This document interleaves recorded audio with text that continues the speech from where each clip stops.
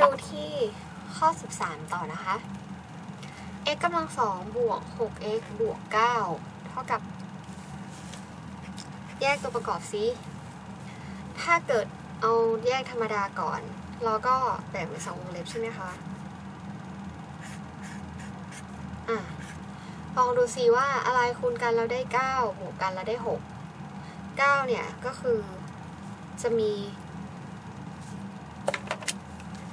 3คูณ3กับ9คูณ1ใช่ไหมลองดูว่าอะไรบวกกันเราได้ 6 3บวก3ได้ 6 อ่าโอเค แปลว่าไอ x บวก3กับ x บวก3หรือจะเท่ากับ x บวก3ทั้งหมดยกกำลังสองคือถ้าใครทำโจทย์มาเยอะๆนะคะ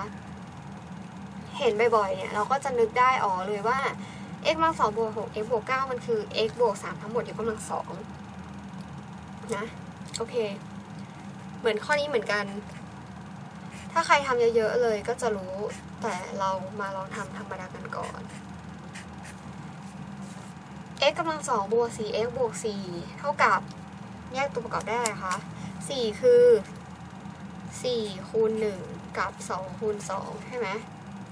อะไรบวกกันแล้วได้สี่สี่คูณหนึ่งสี่บวกหนึ่งได้อะไร ได้สี่ไหม ไม่ได้ ได้ห้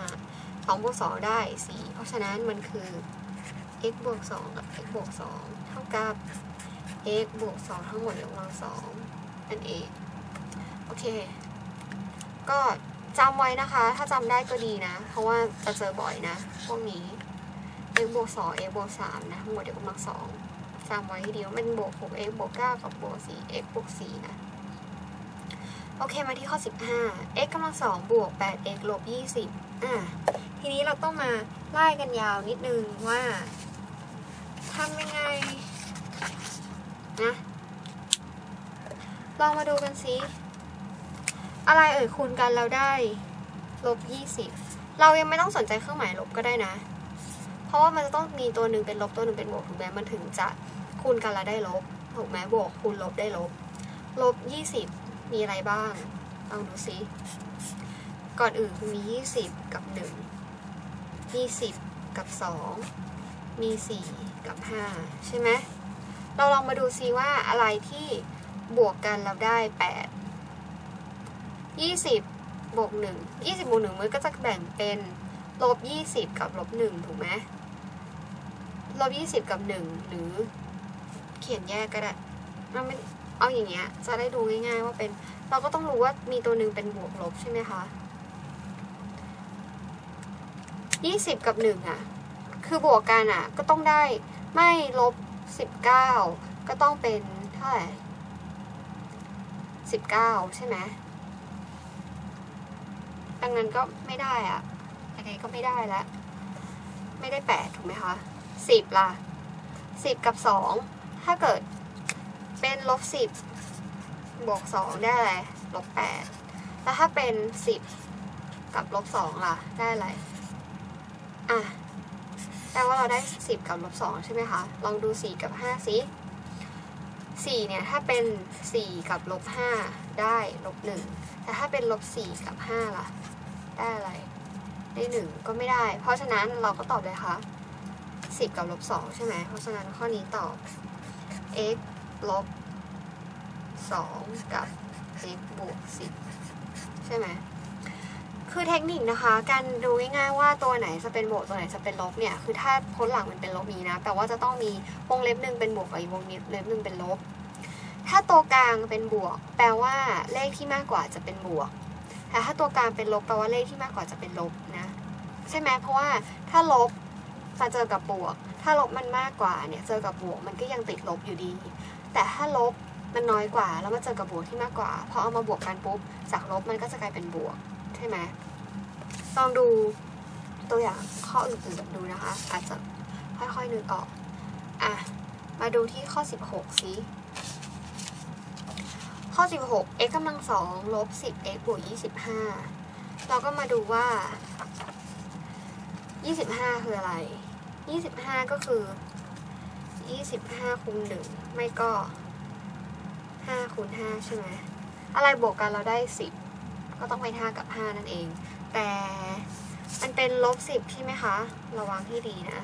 มันคือลบ 10 เพราะฉะนั้นต้องได้เป็น x ลบ 5 คูณกับ x ลบ 5 เพราะว่าลบกับลบคูณกันก็จะกลายเป็นบวก หรือคือ x ลบ 5 ทั้งหมดยกกำลังสองนั่นเอง โอเคนะคะ มาที่ข้อ 17 นะ